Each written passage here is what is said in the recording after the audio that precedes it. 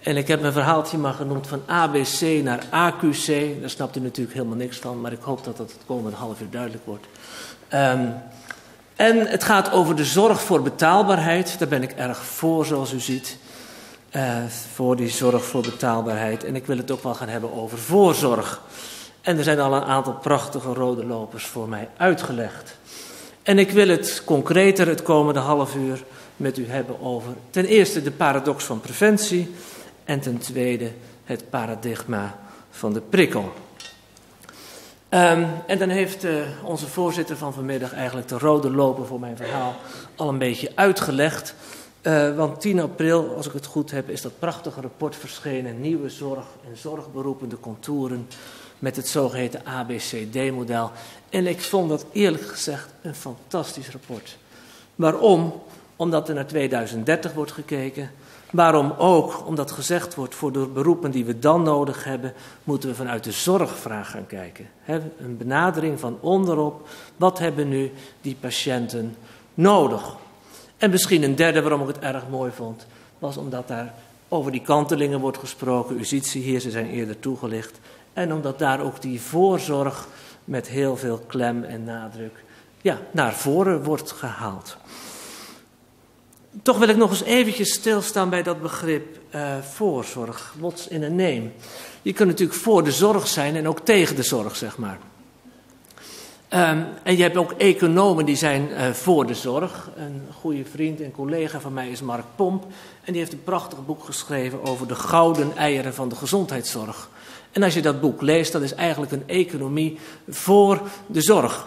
He, want de zorg levert prachtige gouden eieren op. Zoals net door onze voorzitter is toegelicht, gaat het bij voorzorg misschien om het voorkomen van zorg. En toch, eh, beste mensen, heb ik een beetje moeite met dat begrip voorzorg in deze context. Omdat je onbewust en misschien onbedoeld toch zorg centraal stelt. Want je gaat het hebben over voorzorg, maar centraal staat dan toch die zorg. En als je op deze lijn doorgaat, dan zou je kunnen zeggen van nou, misschien moet je dan zorg wel na preventie noemen. Maar dat bekt niet zo lekker natuurlijk. We hebben het toch liever over zorg en over gezondheidszorg. We gaan niet een ziekenhuis na preventie noemen. Al was dat eigenlijk wel de strekking van uh, de voorzitter zojuist.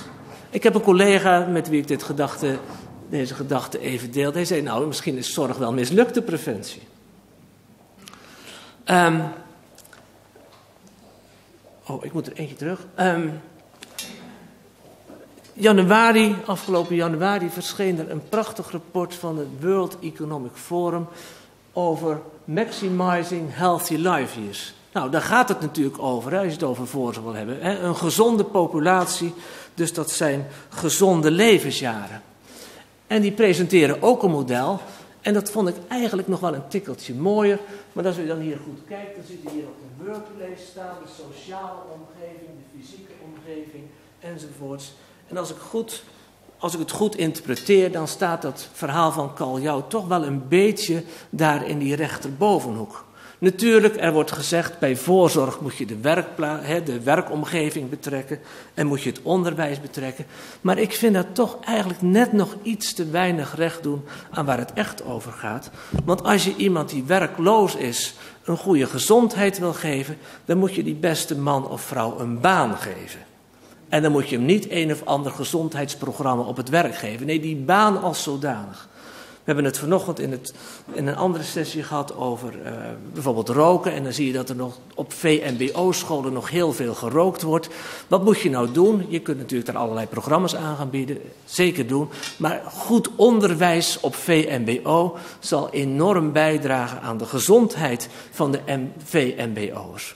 Kortom, ik denk dat we als we het over preventie gaan hebben, of over gezondheidsbeleid, of over, nou, noem maar op, uh, in een gemeenschapsgerichte benadering, dat we misschien de contouren nog wel iets verder mogen optrekken als in dat prachtige rapport van de commissie Kwaljau. Dan nog even een derde semantische connotatie. Um, zorg voor betaalbaarheid. En ik denk dat betaalbaarheid, dat het belangrijk is om daar twee dingen heel nadrukkelijk te onderscheiden. Even in het Engels, maar de ability to pay en de willingness to pay. Het gaat over kun je het betalen en wil je het betalen. Dus de discussies over de betaalbaarheid van de zorg zullen nooit alleen gaan, hebben we het geld, maar zullen ook heel nadrukkelijk erover gaan, hebben we het geld ervoor over. want we hebben heel veel andere maatschappelijke doelen. Dus die gouden eieren van de gezondheidszorg, die zijn wel heel erg waar, maar ook het onderwijs heeft gouden eieren. En zoals Flip de Kam ooit gezegd heeft, die zorg kan wel een soort koekoeksjong worden. Als je steeds meer geld uitgeeft aan de gezondheidszorg, dan kom je aan dat onderwijs niet toe. Of aan allerlei andere dingen die we erg belangrijk vinden met z'n allen. Kortom, die zorg, die gezondheidseconomie, of die economie van de gezondheidszorg, die heeft eigenlijk twee gezichten: die gouden eieren en het koekoeksjong. En u ziet dat een beetje afgebeeld bij mijn huisdier, Janus de koekoekskip. We moeten het dus hebben over kosten en baten. Dat is belangrijk. Betaalbaarheid heeft de neiging om in te zoomen op de kosten, maar beste mensen, verbind dat altijd met de baten. En dan heeft Oscar Wilde ooit eens gezegd: een econoom is iemand die van alles de prijs weet, maar van niets de waarde kent. En helaas moet het vanmiddag eventjes met een econoom doen. Maar ik ga, nou, vooruit.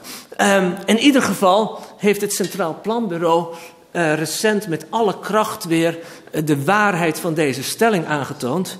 Door in het rapport Zorgkeuzes in kaart het vooral te gaan hebben over de budgettaire gevolgen. En niet over de waarde. Dus preventie wordt daar op budgettaire gevolgen beoordeeld. En daar kunnen, beste mensen, de politieke partijen het de komende jaren mee doen.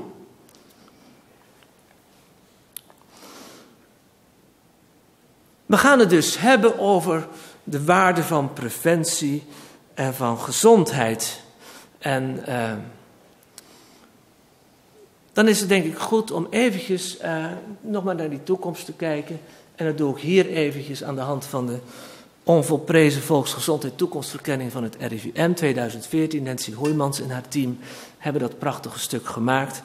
En dan ziet u hier eventjes de ziektelast in 2011, meest recente cijfers voor Nederland, waar dan die grote winst te behalen valt als het gaat over preventie. Nou, dat is bij psychische stoornissen, want daar zit de grootste ziektelast. En bij hart- en vaatziekten, en bij kanker, en bij letsels, en bij bewegingsstelsels.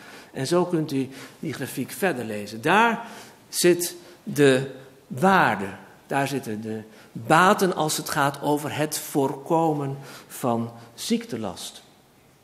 En u moet zeker op die website kijken, dan kunt u doorklikken, dan kunt u zien welke psychische stoornissen, welke kankers, welke hart- en vaatziekten enzovoort. Ik nodig u hartelijk uit om daarop in te zoomen en door te klikken. Wat ik nu even doe, is een volgend plaatje daaruit te nemen, wat wijst op de oorzaken van die ziektelast. Want bij preventie wil je natuurlijk aangrijpen, niet op die ziektelast zelf, maar op waar die door veroorzaakt wordt.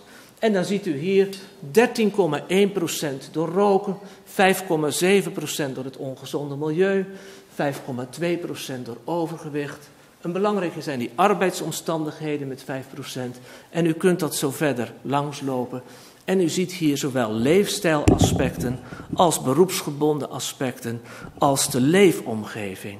Wat opnieuw onderstreept dat het bij preventie niet alleen zal gaan om leefstijl, maar om een heel veel breder domein. U kunt al die getalletjes niet zomaar bij elkaar optellen. Uh, hè, er zitten wat overlappen tussen. Maar het geeft wel een prachtige indruk. En ik vind het nog steeds altijd weer shocking dat je denkt van 13,1% van de ziektelast door roken. Dat is toch echt enorm. Maar ook dat milieu met 5,7%.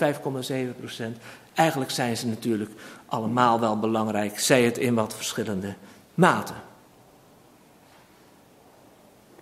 En als het dus gaat over preventie en de value daarvan, hebben we hier dus ook de belangrijke aangrijpingspunten waar preventie iets zou moeten doen, of die voorzorg. En ik was dus erg blij met dat rapport, dat heb ik al gezegd en dat herhaal ik nog maar eens, omdat daar een aantal kantelingen in worden bepleit. Uh, vanuit die hoogcomplexe dingen, misschien meer naar laagcomplexe dingen, naar die voorzorg en naar die gemeenschapsgerichte zorg. En ik was ook erg blij in dat rapport om te zien dat dat de overstap gemaakt werd, laten we het ook een kanteling noemen vanmiddag, we zijn aan het kantelen, van ziekte naar functioneren. En er is gezegd, je hebt functioneringsproblemen, mensen kunnen er geen hebben, of met mobiliteit, of met nog met meer dingen. En dat heeft dan te maken met gaan zitten, met in bed en uit bed stappen, met aan- en uitkleden, enzovoorts. U kunt dat lezen in het rapport. En het belangrijke is dus daarin dat gezondheid iets anders is dan niet ziek zijn. En dat ziekte iets anders is dan niet gezond zijn. Maar dat het ook alles te maken heeft met maatschappelijk functioneren, persoonlijk functioneren, sociaal functioneren, op je werk functioneren enzovoort. En dat is hier denk ik op een hele aardige manier uitgebeeld. Wij hebben dat zelf ook eens wat eerder gedaan. Wij is dan vooral mijn promovendus Bram Woutersen die ook gekeken heeft naar die andere dingen die u net ook al zag, naar depressieve symptomen, naar ook iets van cognitie. En dat alles hier bij mensen van 65 jaar en ouder. En hij heeft uh, op een fantastische econometrische manier, heeft hij al die aspecten van functioneren en ziek zijn, heeft hij met elkaar verbonden in drie levels van gezondheid. Um, de slechtste gezondheid is hier groen gekleurd, waarom weet ik niet. Um, de goede gezondheid blauw. Maar waar het om gaat, is dat bij mensen van 65 jaar, ook als ze een goede gezondheid hebben, want gezond zijn is iets anders dan niet ziek zijn, dat zo'n 35% een chronische ziekte heeft. Maar mensen hebben daar op de een of andere manier, moet het gehoord. Werkt dat zo? Of moet ik gewoon daar blijven staan, misschien beter. Nu doet het wel, ja? Um, mensen die hebben dus in die goede gezondheid, die blauwe lijn maar eventjes, die hebben dus nauwelijks functionele beperkingen, geen beperkingen bij activiteiten, hun ervaren gezondheid is goed, ze hebben geen depressieve symptomen en hun cognitie is ook goed. Contrasterend is natuurlijk die groep bovenaan. En dan zie je dat die mensen ongeveer de dubbele kans hebben op een chronische ziekte. Maar dat ze vooral heel veel functionele beperkingen hebben. Dat hun ervaren gezondheid een stuk slechter is. En dat hun cognitie ook een stuk slechter is. En daartussenin zit een soort middengroep. Uh, die verder natuurlijk ook wel belangrijk is. Maar ik hoef dat allemaal niet in detail toe te lichten, denk ik. Maar wat nu het aardige is. Is dat Bram Woutersen heeft gekeken naar de resterende levensloop van deze mensen. Want ze zijn 65 jaar en ze zullen natuurlijk op een gegeven moment overlijden. Hoe ziet het er nu uit met hun gezondheid gedurende de rest van hun levensloop? En, naar het thema van vanmiddag, hoe zit het met die betaalbaarheid? Uh, of hoe zit het met hun zorg en hun zorguitgaven? En ik noem dat maar eventjes de paradox van de preventie, dan heeft u alvast de clue van het verhaal misschien te pakken. Um, als we nu kijken naar die 65-jarigen, dan ziet u, dit zijn de mannen, dit zijn de vrouwen. Vrouwen leven langer, dat weet u, hè, die hebben een hoge levensverwachting. Dus die curves die zijn wat hoger voor de vrouwen. Maar dan ziet u dat de mannen die op 65-jarige leeftijd een goede gezondheid hadden, zo'n resterende levensverwachting hebben van om en de mij de 17 jaar. En voor, mensen voor mannen die een slechtere gezondheid hadden op hun 65ste, was die levensverwachting een heel stuk lager. En bij vrouwen is dat eigenlijk hetzelfde verhaal, behalve dat die niveaus wat verschillen. Maar wat u ook ziet, en dat is nog veel belangrijker, is dat die mannen die op hun 65 een goede gezondheid hadden, van die resterende levensjaren er wel tien in die goede gezondheid doorbrengen. En bij die mannen, die hadden die goede gezondheid al niet meer. Die wordt misschien een klein beetje beter, maar overal genomen leven die mannen dus veel langer en veel langer in een goede gezondheid. En dat geldt voor die vrouwen ook. Nou, dan de zorgkosten. En dan ziet u cumulatief vanaf het 65ste jaar dat die mannen gemiddeld genomen eigenlijk allemaal hetzelfde bedrag in de zorg kwijt zijn. En vrouwen ook onderling. En dat komt, die kleurtjes donker is curatieve zorg en licht is langdurige zorg. Dat uiteindelijk ook gezonde mannen met ouderdomskwalen te maken krijgen. En dement worden en in het verpleeghuis belanden. Els Bos heeft het ooit heel krachtig samengevat. Ze zei: dementie zie je eigenlijk niet bij rokers en bij dikkers. Waarom niet? Omdat die op die leeftijd al overleden zijn.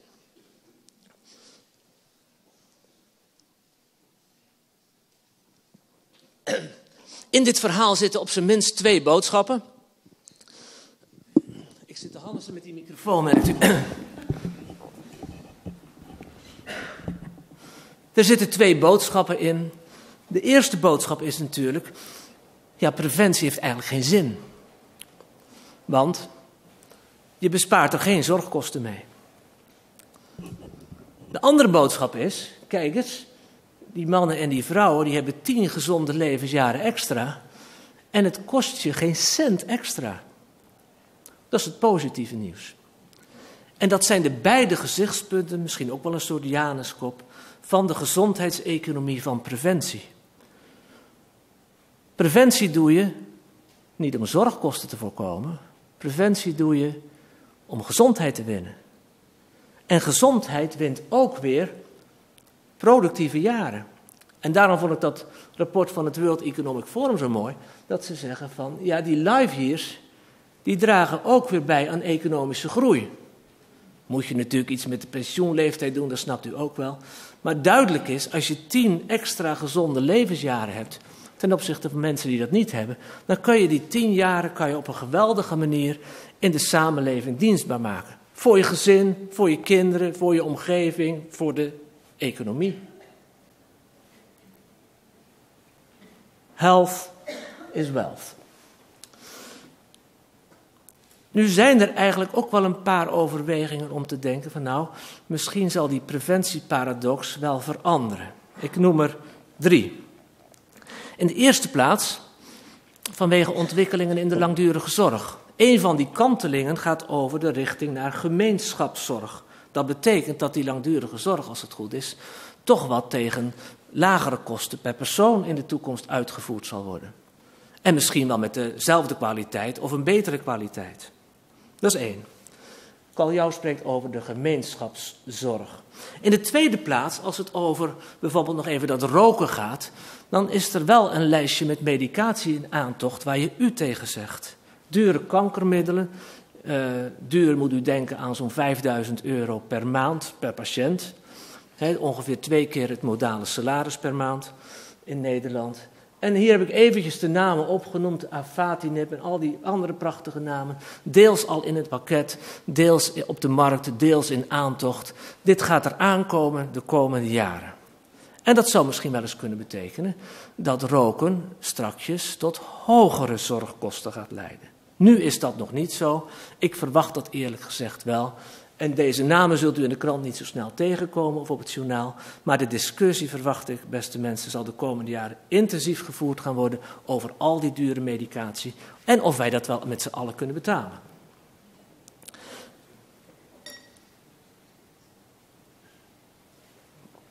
Een derde reden waarom die preventieparadox misschien verdwijnt, is omdat dat rapport van die commissie zo ontzettend veel impact krijgt, wat ik hoop, dat er echt werk gemaakt gaat worden.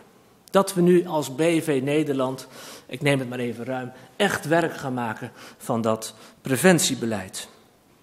Naar voorzorg.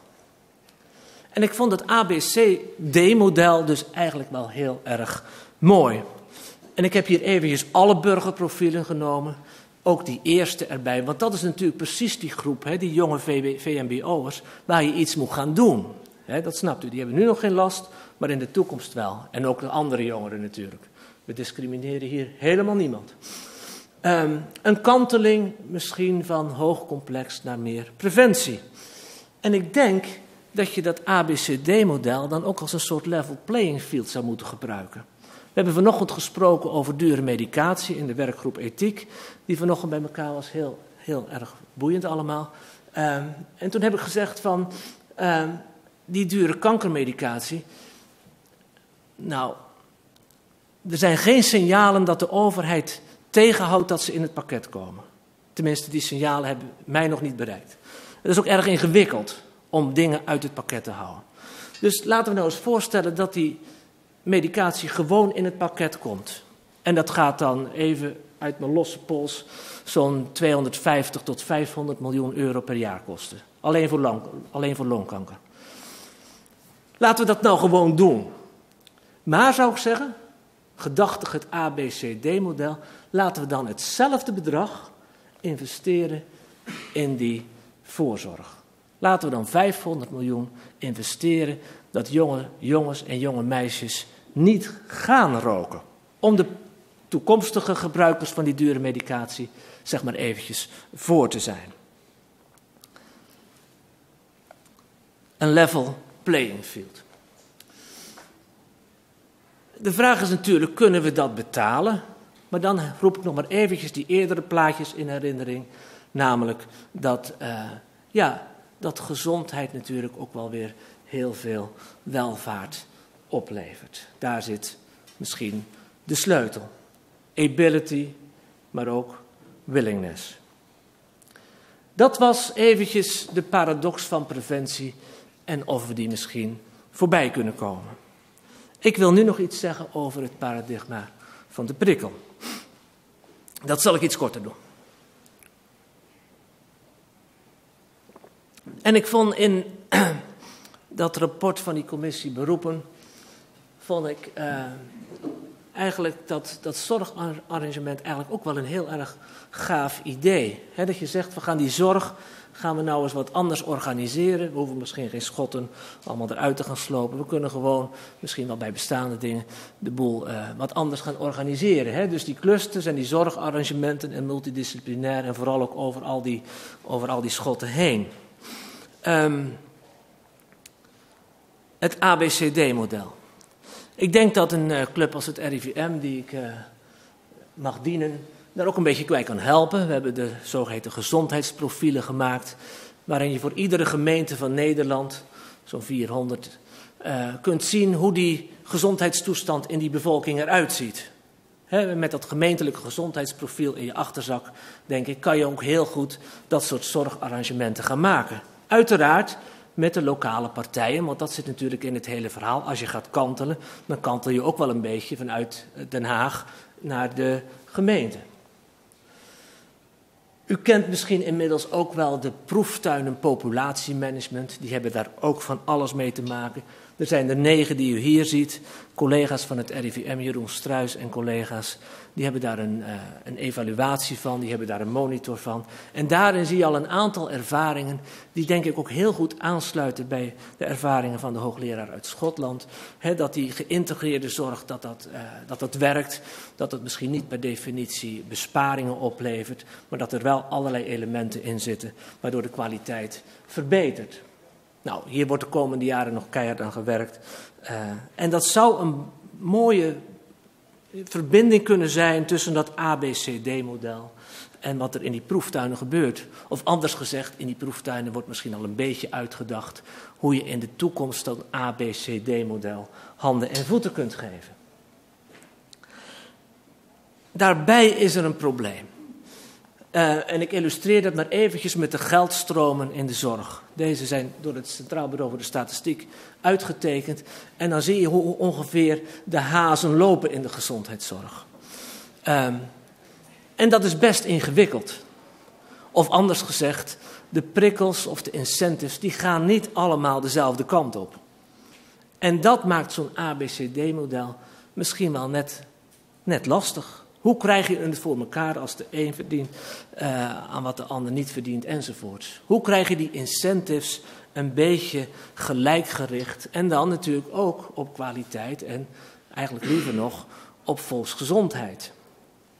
Dat is het paradigma van de prikkel, of misschien wel de paradox van de prikkel. Je, en dat noem ik dan maar eventjes het ABC van de zorg. Activity-based costing. Wij betalen activiteiten. En waarvoor je betaalt, krijg je altijd veel. Zo werkt dat nou eenmaal. dus je krijgt veel activiteiten als je activiteiten gaat betalen. En zo werkt op dit moment de Nederlandse gezondheidszorg met een buitengewoon sterke prikkel tot productie en een buitengewoon zwakke prikkel tot preventie. Door allerlei tegengestelde belangen. Ik hoef het u allemaal niet te vertellen, u weet het waarschijnlijk veel beter dan dat ik dat weet.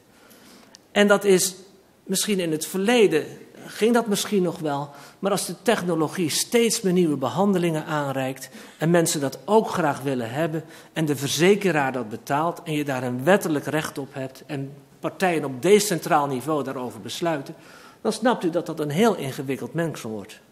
Hoe kan je in zo'n complexe wereld die productie nog een beetje tegenhouden? En meer richten op uh, die mevrouw en minder hoogcomplex en meer voorzorg en zo. Nou, dat ABCD-model biedt daar dus een antwoord op. Dat is een kanteling. En ik zou zeggen, dat is misschien een noodzakelijke voorwaarde, maar nog niet een voldoende voorwaarde. Van zorg naar voorzorg, van productie naar preventie. Ik denk ook naar nieuwe aansluitingen tussen marktdenken en gemeenschapsdenken. Ik wil die twee niet tegen elkaar uitspelen. Ik denk dat je beide nodig hebt en moet je moet proberen hoe je ze op elkaar kunt betrekken. En dat je, daar, hè, dat je kunt zorgen dat ze een beetje dezelfde kant op werken en niet tegen elkaar inwerken. Ik ben niet tegen marktdenken, ik ben niet tegen gemeenschapdenken. Ik zou het liever pragmatisch bekijken van hoe werkt dat nou en kunnen we dat een beetje verbeteren.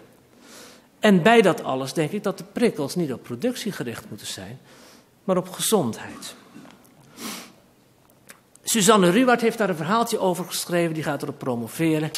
Uh, en Suzanne Ruwart heeft daar een verhaaltje over geschreven in Medisch Contact van een paar weken terug.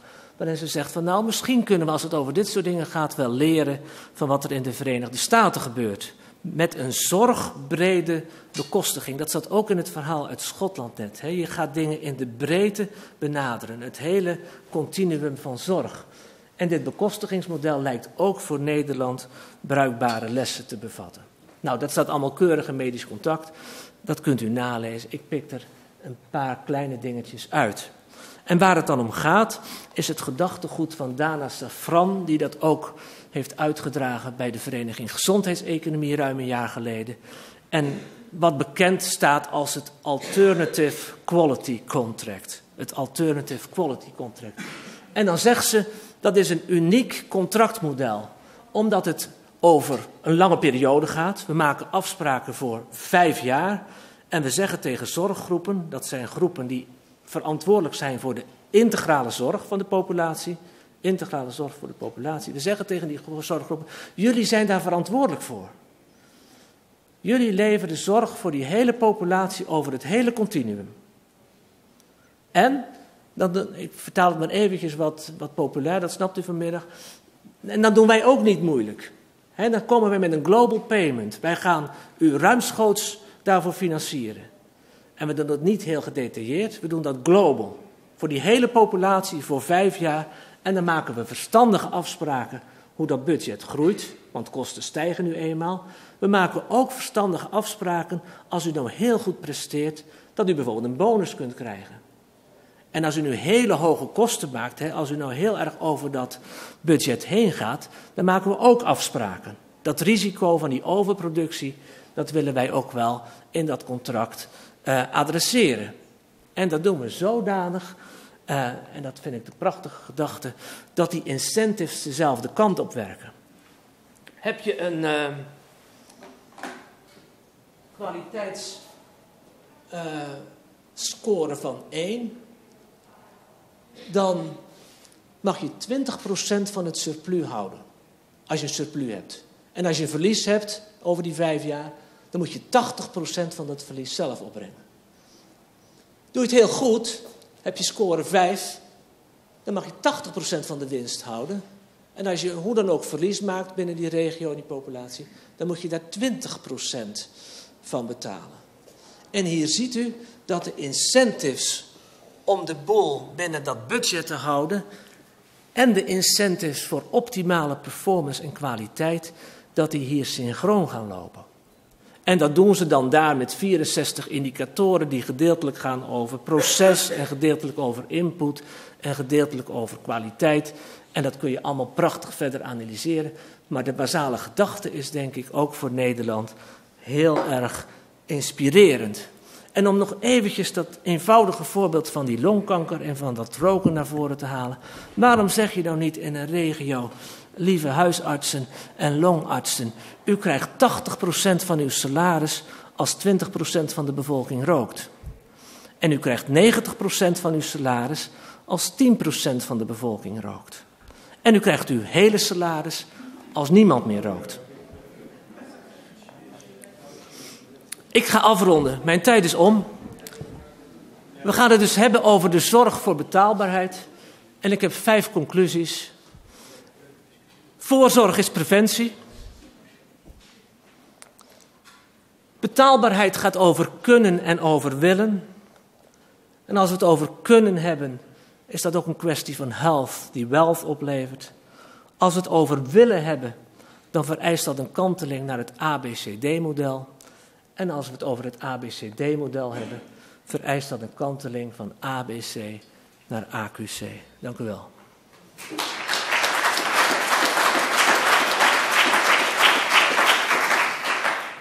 Ja, dank u wel voor dit uh, echt, vind ik, prachtige verhaal. Ik zie het eigenlijk al helemaal, uh, ik zie het eigenlijk al helemaal voor me. Tot mij betreft, dan kunnen we daar snel weer beginnen. Ik heb één, één, één vraag, even voor mezelf. Van wat ik er nu zo, als ik er nou zo naar kijk, en ik weet niet hoe het u vergaat, het staat natuurlijk vrij om ook een vraag hierover te stellen. Um, eigenlijk betekent dat dat preventie en zorg steeds dichter naar elkaar toe kruipen. En dat we eigenlijk, als we het op deze manier zouden durven gaan doen, het onderscheid laten verdwijnen. Klopt dat of ga ik nu te kort door de bocht? Het onderscheid zal nooit verdwijnen. Uh, want u hebt uit het indrukwekkende verhaal van, uh, van u gehoord dat kanker natuurlijk een verschrikkelijke ziekte is, dat goede kankers niet bestaan en dat mensen met kanker de beste zorg nodig hebben. Ja. Um, dus dat blijft staan naast het voorkomen van kanker. Maar ik denk wel dat in de attitude van alles en iedereen preventie veel meer naar voren moet. Ik zou dat ook bij artsen graag zien. En dat iets van gemeenschapsdenken en populatiedenken veel meer verbonden wordt met de zorg. Wat op dit moment wel een heel sterk geïndividualiseerd karakter heeft. Ja. Dus ik zou liever geen tegenstellingen wegpoetsen. Ik zou er liever uh, ja, op een zo ja, pragmatisch, constructieve manier mee omgaan. En ik hoop dat dat een een klein beetje houvast biedt. Zijn er mensen uit de zaal die graag een vraag willen stellen? Ja, achterin. Is er een uh, microfoon?